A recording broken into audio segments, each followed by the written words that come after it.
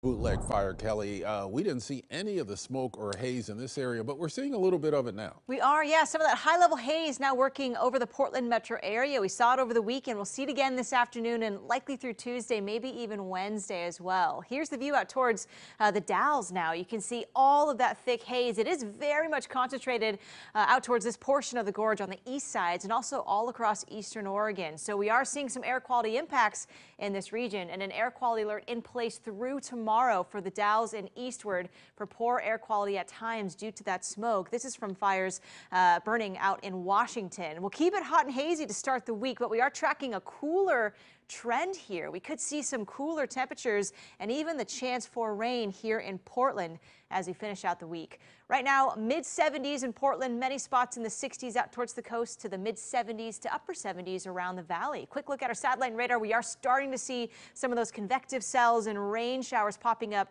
near the central parts of the Cascades, right over the Cascade crest. Even in Portland, you can see some of those tall clouds in place. And I did get a report here of a light sprinkle around Portland. So we are seeing some unstable weather setting up uh, throughout the afternoon as we head our way into today. Still expecting highs around the low 90s today. We should keep it very dry, but more details on this incoming rain late in the week. That's coming up in about 10 minutes. Ken?